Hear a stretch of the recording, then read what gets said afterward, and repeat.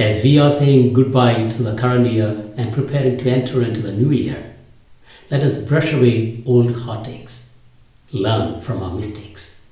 Another year is over, the new dawn awakes.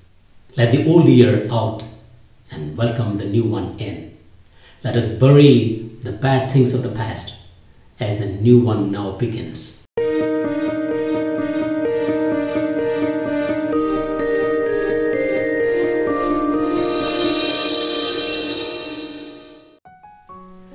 In the beginning was the Word, and the Word was with God, and the Word was God.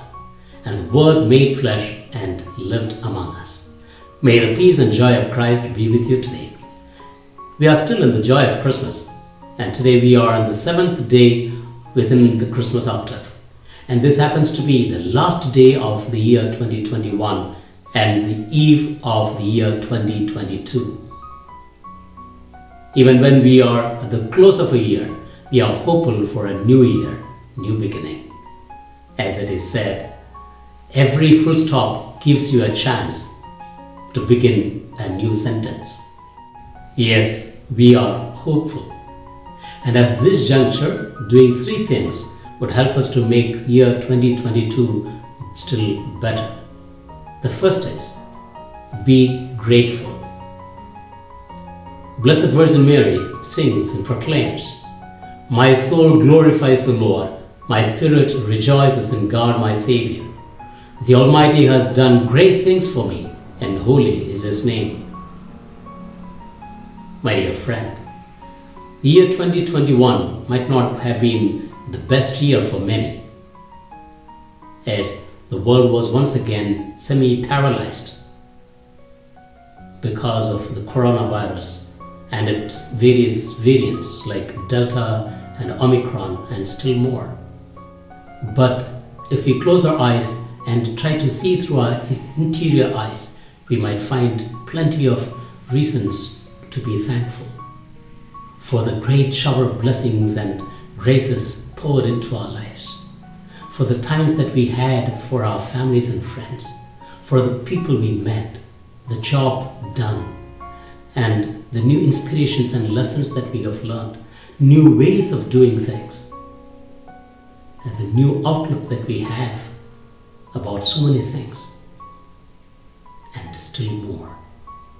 Let us be thankful to God and to the people who have extended their helping hands for us, for the job completed, for the dreams achieved, and the mission accomplished. Secondly, introspection. The great philosopher Socrates says, the life unexamined is not worth living. And now as we are at the close of this year, it is very important for us, for us to see how much of these graces and blessings and the talents and the creativity that we are given have been used by us. How did I make my year 2021? Where I open to the lessons, the inspirations, the friendship? Did I use my capacity to love more, to forgive more, to be merciful and charitable to the people around? Did I reach out to those in need? Would those people who live with me prefer to remember this year always because they were with you? Or would they terribly want to forget this year?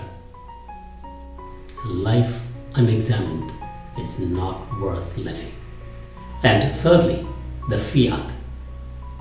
Mother Mary said, Behold the handmaid of the Lord, let it be done to me according to your word. God, who is beyond time and space, came in flesh in the person of Jesus in time and space because of the fiat of Mary.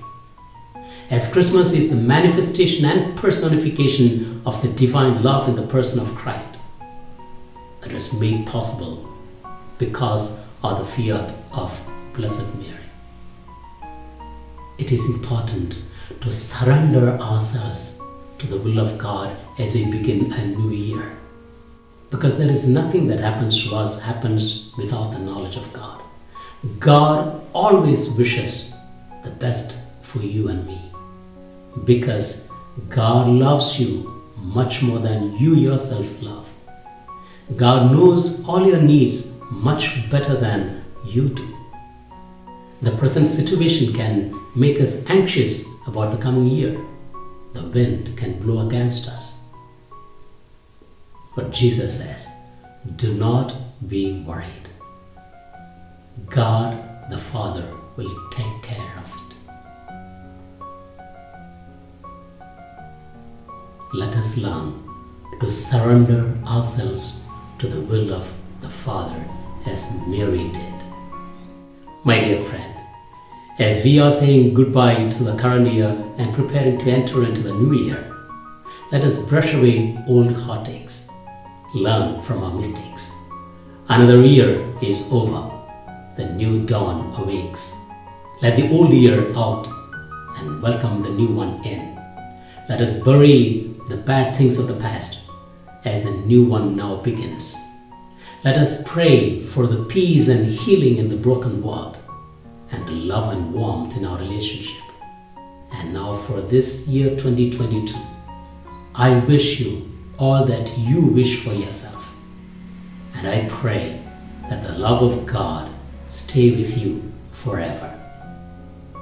Have a wonderful, prosperous 2022. And may the love of Christ redeem us. Amen.